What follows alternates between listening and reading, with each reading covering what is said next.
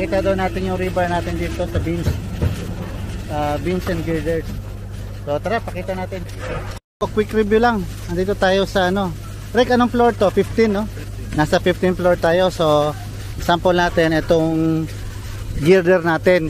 Ibig sabihin ng girder, direct siya naka-connect sa column. O, girder tawag doon. Yung beam naman, hindi siya direct naka-connect sa column. Naka-connect siya sa mga girder natin. So, yun yung pinagkaiba. Okay, so, ito yung girder natin. May tinatawag na main bar. Merong top bars. Yun, syempre, obviously, top bars. At meron din tinatawag na bottom bar. So, dalawa lang yon Yung mga main bars natin, top tsaka bottom. Then, punta naman tayo sa extra bar. Ang extra bar naman, merong extra top bar. Ito, mga extra to. Ayan o, yung putol. Yung cut bars. Sa kabila rin meron.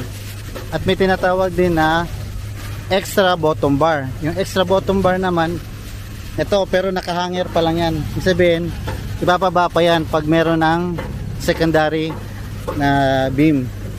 So, yun yun. Pag sinabing extra bar, may mga cut length yan, di ba? May mga cut length. So, etong top na extra bar, L over 4 ang length niya. Ibig sabihin, yung length mo, yung span mo, hati mo ng apat. So, yun yun, L over 4. Or 1 4 siya ng span. 1 4 ng span. Yung bottom bar naman is 2 third. 2 third of the span. 2 third of the span, di ba? 2 third of the span. So, yung 1 third, hinati pa sa dalawa. So, 1 6. So, 1 6. 1 6. So, ito, sabihin, yung dulo ng bakal na yan, yung dulo ng bakal na yan, 1 6 yan. 1 6. So, 2 6 or 1 third. So, yung natira, 2 third. Kaya, yung bottom bar, extra bar natin is 2 third. Okay? So, yun yun. Tung ang splicing naman natin, allowed lang tayo mag-splice sa top bar somewhere in the middle. So, andito. Yan, sa gitna. Sa gitna, dyan lang tayo allowed.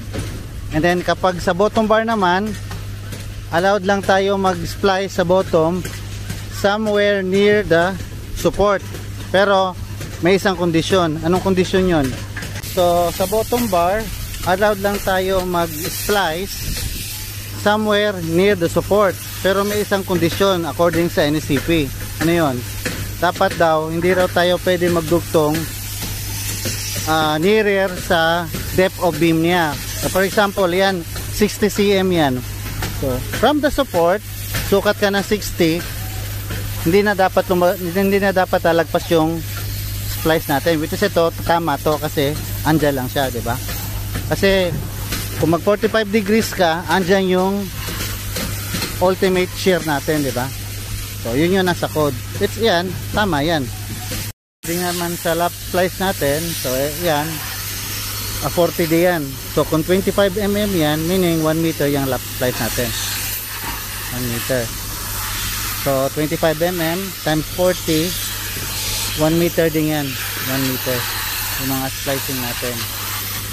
Okay, tapos, okay, tapos, ang tawag dito, ang tawag dito sa ties na to, yan tinatawag na joint.